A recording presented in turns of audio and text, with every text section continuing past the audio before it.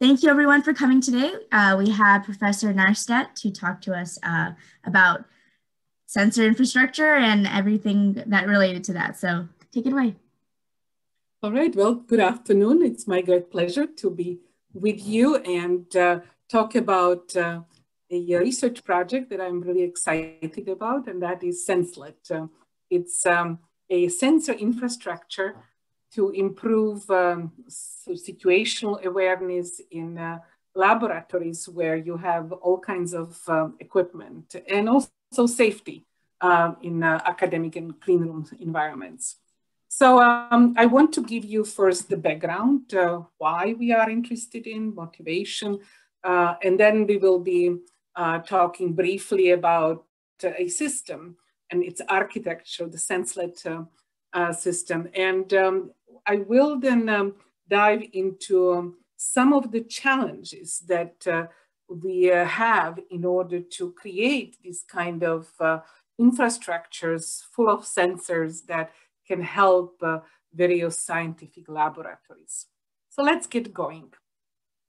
So um, in the university, we have a lot of laboratories that have very sophisticated equipment. You can see on this right side, digital microscope. You, this is definitely much, much bigger microscope than probably you have maybe in your class. Um, and you basically put a petri dish under this microscope and then you sort of uh, put various chemicals and materials and then look through the particular microscope, basically what happens at the nano or micro level uh, inside of the petri dish. There is uh, also other types of instruments that we have at the university um, these are fume hoods uh, where um, you basically will be cooking all kinds of materials. You put together chemicals and then let it bake. And what happens actually is that then they will develop sort of certain chips that you have now in your computer or in your mobile phone. And um, all of these instruments that we currently have at the university that serve material scientists to develop new materials, the the chemists that develop new chemicals uh, or new semiconductor uh, fabrication researchers who develop new chips, new devices.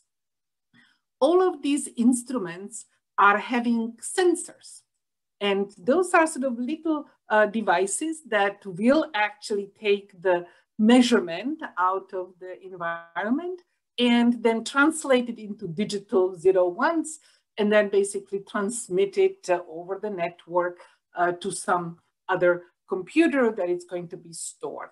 So um, what uh, we are currently um, interested in to, and that is currently happening is that many of these instruments uh, are being connected via digital networks because all of these instruments are microscopes and um, all kinds of other spectrometers are having these little sensors that are uh, sending digital information and we can then store it um, and then we can visualize it. You can see actually on, on your computer screen what uh, kind of data you are collecting from these various uh, uh devices. So um, we need real-time data logging around these instruments so that we know that these instruments work properly the scientific environments that have this kind of uh, instruments, uh, like the big microscope, like the big fume hood, um, are actually called uh, um, scientific laboratory environments. And one of the examples is clean room, uh, where people are actually wearing a white clothes and uh, are coming very cleanly into these uh, in rooms to develop various chips.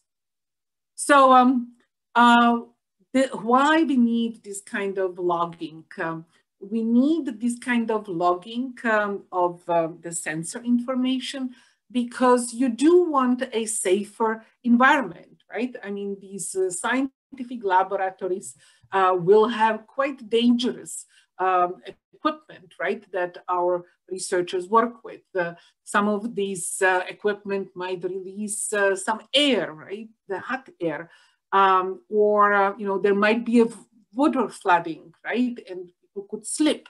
So um, we need uh, real-time sort of sensing uh, of many of these scientific laboratories so that we provide safe research environment um, and therefore there is no more instrument overheating. There is no more flooding or gas leakage, right, that we are currently seeing on these uh, pictures.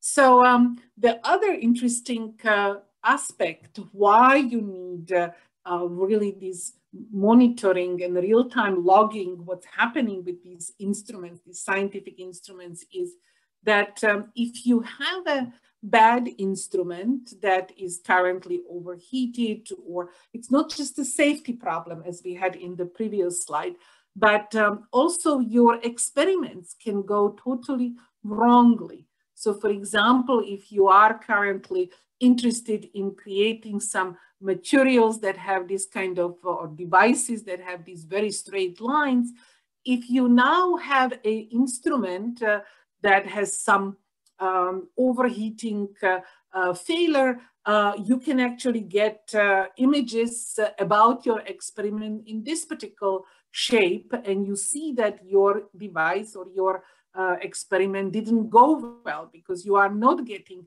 straight lines. So um, excess of humidity, excess of temperature can actually lead to uncontrolled uh, and bad experiments, which you spend hours preparing for and uh, you don't get results that you would like.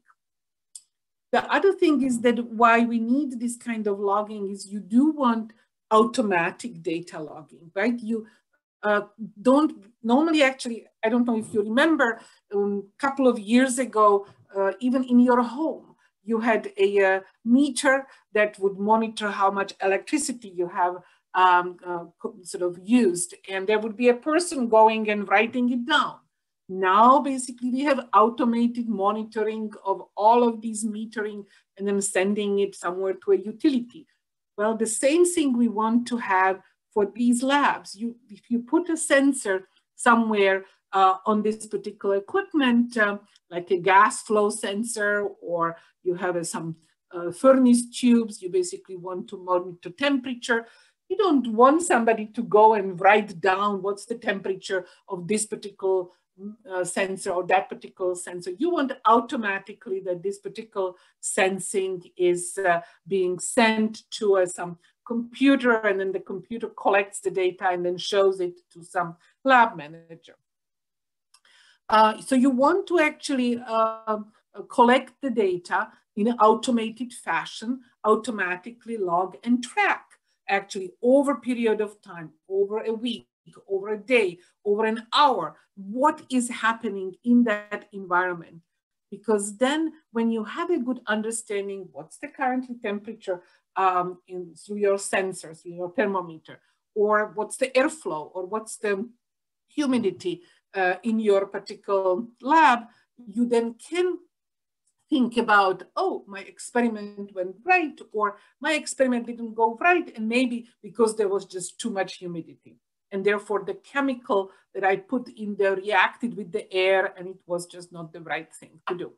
So um, automatic logging, tracking of all these environmental data, you get a good understanding of the microenvironment around your equipment, and then you can really much better know what's happening.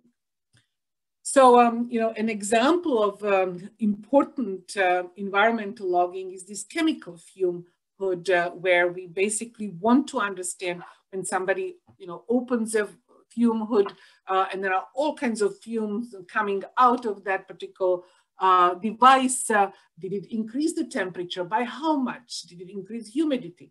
Again, uh, to basically cover then, are the scientists really safe? Uh, because it could be a bad fume that is coming out, right? So you want safety, you want the correctness of whatever you are doing currently in the lab. So um, you want to um, automatically log um, gas flow sensors, temperature uh, sensors to track basically um, various processes that are happening uh, uh, around and in those particular instruments.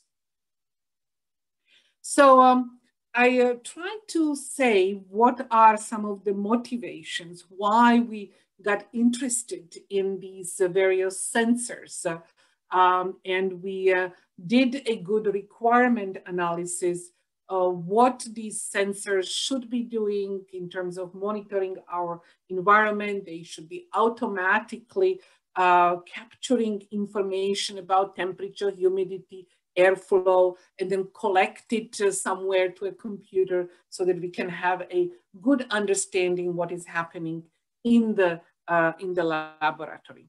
And so for uh, establishing the sensors and then collection of the data to a particular computer where we then can see and visualize that particular data, you know, rather than go to a therm thermometer and read from the thermometer, we want to see it on the computer. And so for that, we actually developed this uh, SenseLet uh, architecture and the system. So the SenseLet uh, uh system uh, currently consists of uh, several components.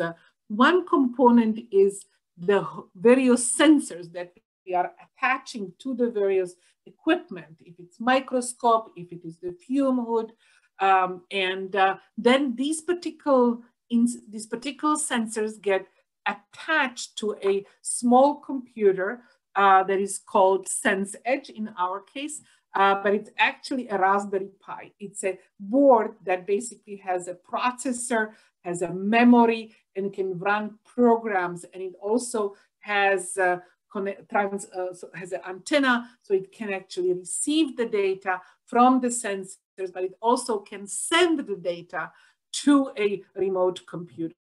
So um, we are sensing uh, the information uh, in around this instrument, and then through the particular sense edge, we uh, collect the data uh, around this particular equipment and then send it wirelessly, Wi-Fi, to a computer that we call Sense Cloud. So sensing is a really, really important aspect of our overall system and a goal. And then um, uh, when the particular data is uh, here on this particular computer, um, we call it Sense Cloud, we want to analyze that particular data because we want to also see that uh, was some of the sensors faulty or the instrument maybe is now uh, in bad shape and needs attention or if there is a water leakage, then we want to analyze the data and detect if there is a water leakage. And then of course, uh, when we detect and analyze the data, we want to show it actually to the particular researcher uh, that is uh, sitting uh, on the computer monitor or a lab administrator that is currently monitoring the laboratory. Remember, these equipment in the lab could be multi-million dollar equipment. Microscopes are between one to $10 million. So really understanding that something is happening there is very important. And then of course, if the researchers or the lab administrators detect through the analysis that something happened, then they have to go to the lab. So we are in our SenseLet project looking at environment monitoring through the sensors, then collect the data, the digital data through these sense edge small computers.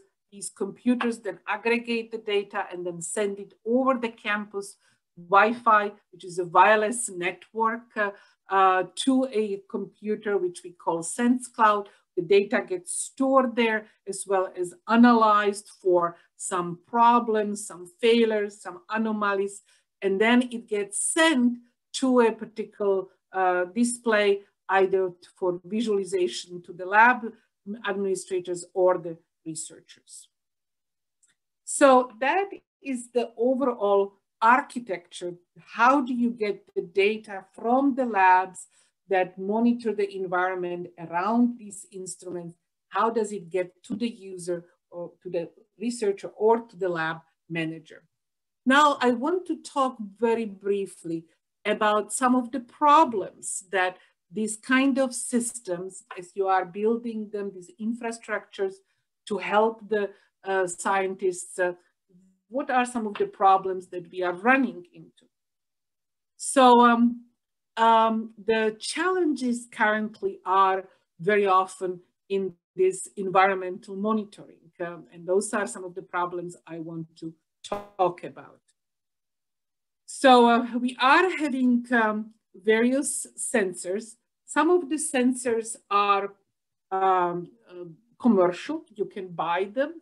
So for example, temperature thermometers, you can buy on the market, on the website and get them. The humidity or the water leakage sensors are uh, all out there that you can do. But the big question currently is, uh, how do you connect them to this particular small computer?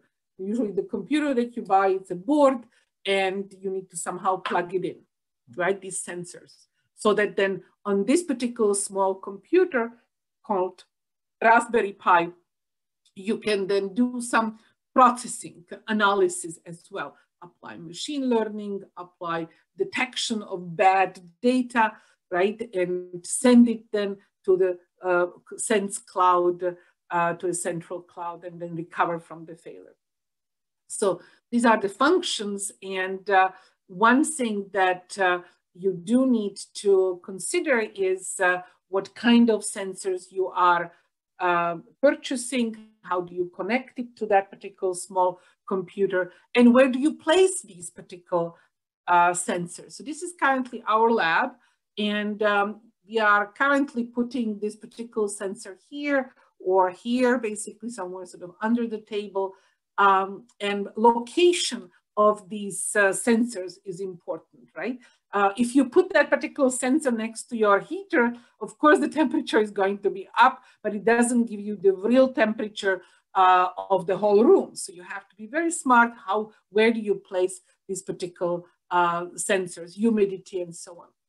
So uh, placement uh, of the hardware in the lithography room, this is one of our clean rooms uh, at the university, was an important goal.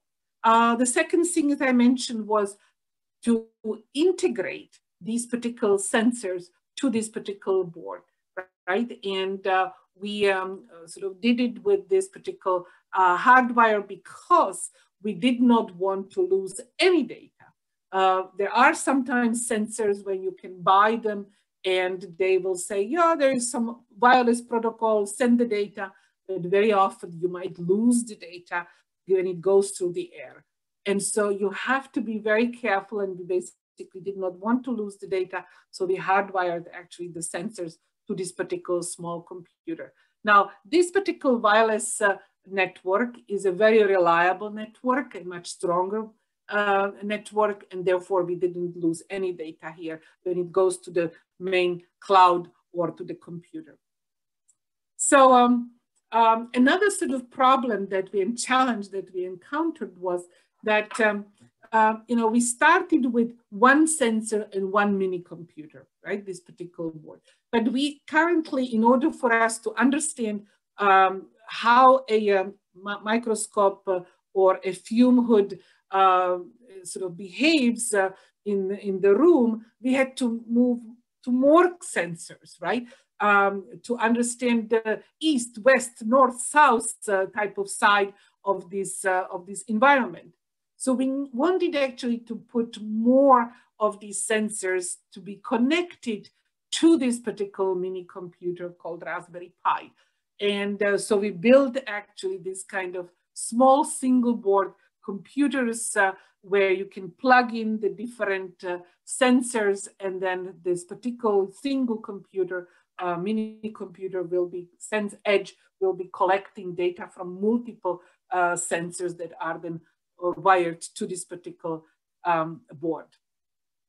Um, so, um, so that's um, uh, was uh, sort of really another uh, challenge. And then the next challenge that we are currently facing is really uh, understanding very different types of sensors. We are now really at the boundary of a revolution of many different sensors. You probably might have some sensors where your family members bought some motion sensors that you put in your garage or uh, some sensors that is monitoring how much water is coming out of your water faucet and so on. So there is just absolutely boom in number of uh, sensors uh, that uh, are humidity sensors, temperature sensors, airflow sensors, door sensors, water rope sensors, oil detection sensors. These are all really good sensors to uh, bring into these scientific laboratories where we have expensive equipment to monitor actually what is happening in this lab. And then we want to actually design this senselet so that um, it gets deployed in a scalable and reliable manner and uh, in a flexible and scientific way. So our current effort is to really build uh, uh, the sensors, uh, aggregate them to that particular board, uh, which is called the Sense Edge, uh, enable multiple um, of these uh, sensors to be added. One thing that you might be also careful if you want to experiment with your own sensors, that there are different types of sensors uh, that have different connectivity capabilities like the uh, I2C or ADC and the high and low um, capabilities. You need to look at the configurations of these sensors and then we need to understand how to actually connect them to these small computers so that they are providing us correct information, correct temperature, correct humidity, correct airflow. So, um, so that's a really big challenge. You know, what kind of sensors you select and are these sensors actually giving you the right information? The second really important challenge is reliability. Do this particular data get correctly up to the computer in your sense cloud, right? From these particular sense edges to the sense cloud. And um, we currently are very much worried about uh, the campus Wi-Fi. I mentioned that this particular wireless um, uh, is strong. It has a lot of bandwidth. It has a lot of bits that can be sent from this mini computer, Raspberry Pi to the computer, the Sense Cloud. But sometimes that particular Wi-Fi can go down, right? Or many people use the Wi-Fi and so you are suddenly sitting, seeing drop of network bandwidth to that particular cloud. So we need to be very clear uh, what's happening on that particular site. The sensors can fail, right? Um, the sensor uh, stops sending and, and, and, sensing proper values. Um, so you have to take care of that. And also this microcomputer, right? The small computer uh, Raspberry Pi can actually fail and it's overheated, uh, um, doesn't have energy, right? So, so you need to be really mindful as you build these kind of systems that monitor these scientific laboratories, what is happening. And so we actually, in order to do this kind of high reliability system, we have developed so-called watchdog uh, software that is uh, placed on the sense edges and is watching, is my network fine? Is my sensor fine? And when there are problems, then basically this particular sense edge has the capability to send a uh, alert message to the lab manager, or it can restart itself to basically say, yep, there is currently um, nothing happening and therefore I need to restart myself. So you can first identify the reliability problems by sending heartbeats to the central server. Um, and uh, if you get an acknowledgement, you know that connection is fine. If you don't get acknowledgement, you know there is a problem. And uh, also you can sort of test yourself uh, uh when you're receiving your ACK, your watchdog software says fine, you pet the dog, um, but if you don't hear anything, you know something is wrong and you need to react.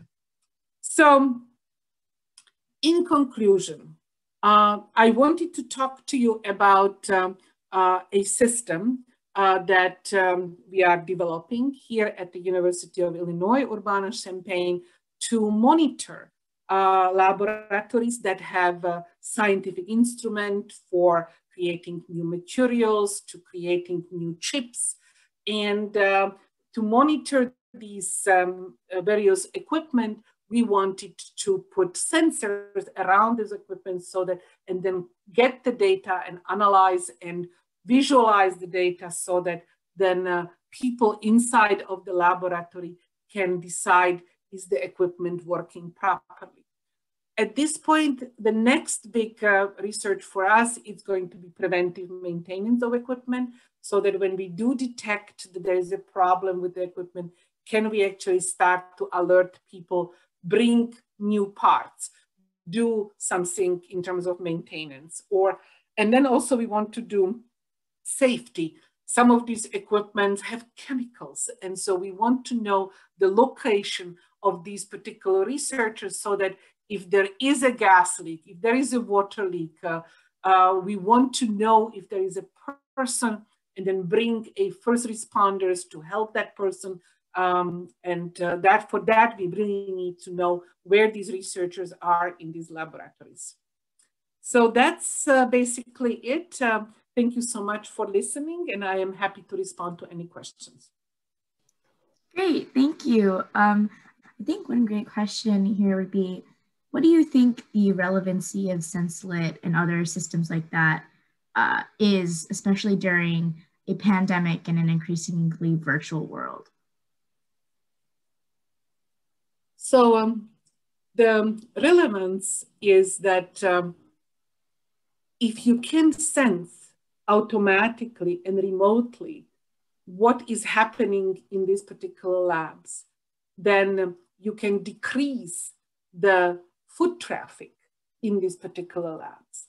As I mentioned, if you don't have a good understanding what is happening in these labs, the same way as a utility company doesn't have a good understanding how much electricity you have been using, then some person has to come and read the data.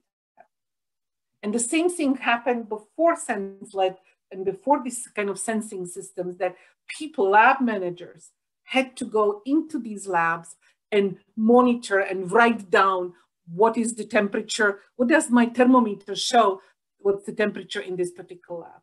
Now it can be automatically, you can actually be at home and have a monitor and see actually what is happening in the lab.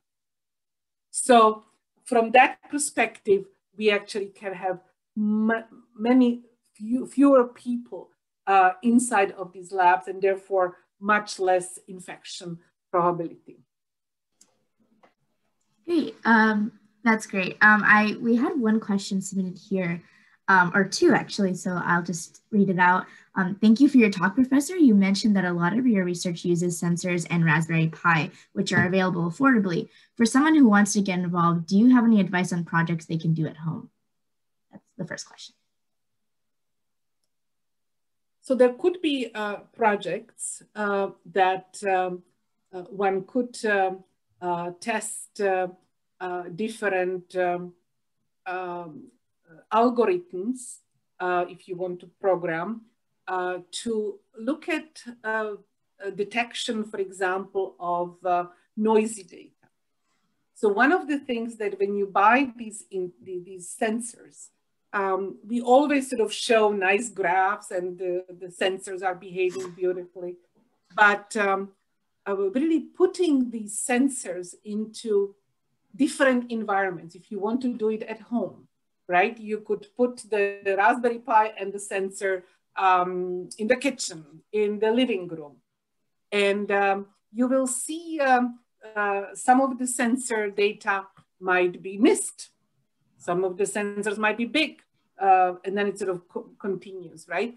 And um, the big challenge currently in the data processing is how do we deal with noisy data?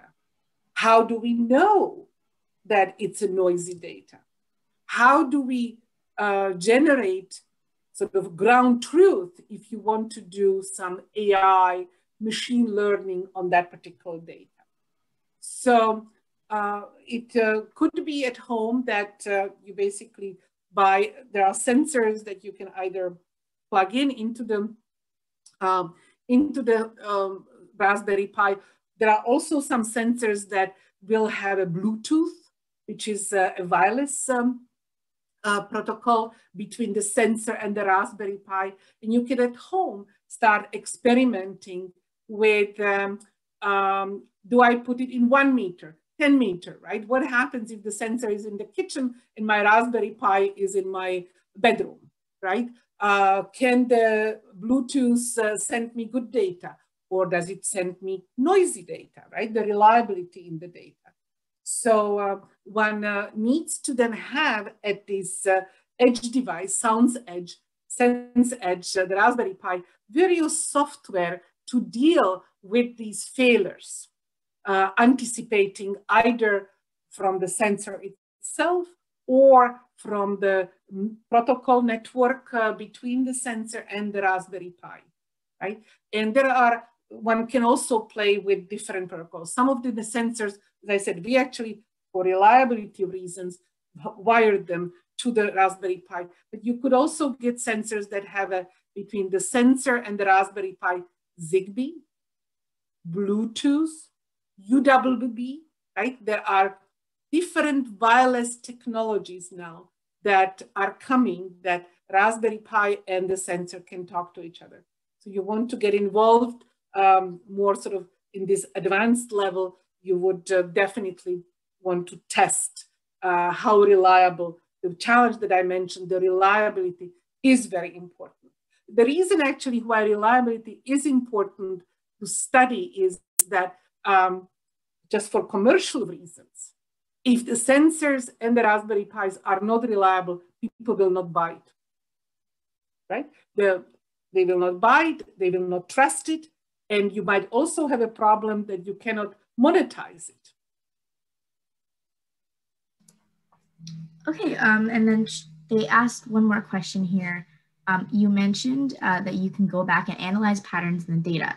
Are there any challenges with maintaining such a large amount of data and storing it? Yes. There is um, uh, a major area of research to, uh, that deals with uh, data management. So when you are dealing with a lot of data, particularly sensory data, you need to very carefully consider what kind of database you will be deploying. Sometimes the sensors being cameras, you might um, you know, deploy uh, databases that will be taking big files, right? Like videos. In our case, we have very small data, humidity, temperature, airflow, very small amount of data. However, they are coming at a very high frequency sometimes two samples per second, sometimes even 30 samples per second. These particular data are called time series data. There's a timestamp and then a value of the, of the sensor. Timestamp and, and value of the sensor, and so on. And so you want to have a database that will store the data appropriately, for example, based on the timestamps and then the value of the sensor. So that particular database, for example, we are using is called InfluxDB. But there are other test, uh, there are other databases. If you have, um, you know, sort of data that are very structured um, uh, to create tables, that's uh, MySQL. If there are big documents that are very unstructured, you might use MongoDB. So looking at the structure and uh, features of your data is really important because you need to decide at the Sense Cloud or any of the cloud what kind of database you will be deciding and indexing so that then later on you can search over that particular database, right? So we usually, in a time series data, you want to search what happened at that particular time in this particular room, right? And so time is becoming important in this time series data streams. And that's why we selected InfluxDB as a database. And then you also need a good visualizer of these various data, right? Because one thing is you store them in the database, but it's not going to be useful if you cannot retrieve the data, query for the data, visualize the data, and uh, manipulate the data. And so for that particular visualization, we use a software called Grafana that is uh, very useful, allows us to connect very easily to the InfluxDB and uh, retrieve the data, aggregate data, put graphs together and manipulate the large amount of sensor data that we are getting from these scientific labs. Okay, um, one last question I think we could close off on here would be um, for a student that might want to be in your position one day, doing the research that you're doing, um, what advice would you give them or uh, what software do you think that they should focus on or try to learn or skills they should work on to do that? I think um, a very important aspect is uh, to acquire so-called computational thinking. So in the high school, I think the most important thing is really to acquire mathematics, acquire sort of the, some of the sciences. Because as you can see, we as computer scientists also have to understand some of the other fields, at least at certain level. But, um, and then basically maybe a good programming language to acquire, because programming languages start to force you into certain algorithmic thinking. I think that is the, the, the biggest advantage then when you join the computer science, uh, because these algorithms need to then be programmed either with Python, with Java, with C, C++, depending on where in the software space you are working. And then once you have a good algorithmic computational thinking um, and good programming language, programming uh, skills. So I would not uh, advise, let's start to learn software like you know Grafana or databases or whatever, uh, because they by that time you will be next year, it's going to be other databases. This field is moving so fast I am now on my sixth programming language. Let me put it this way. And uh, I don't know how many software packages uh, I had to sort of go through.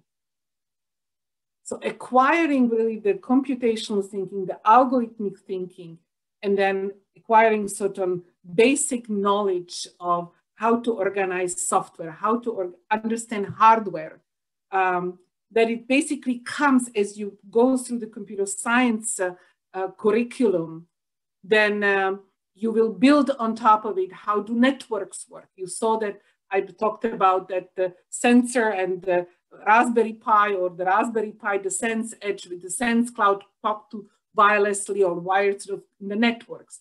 Then you will start to learn what are networks, what the protocols work, um, how does the network communicate with the software and hardware in the computers, um, and so on But I think um, really acquire really good foundation. Okay, thank you so much, Professor Nahrstedt, to talk for talking to us today. This is really interesting, and I think many students will be able to gain a lot from thank it. You so thank you very much for the invitation. I really enjoyed this. Thanks.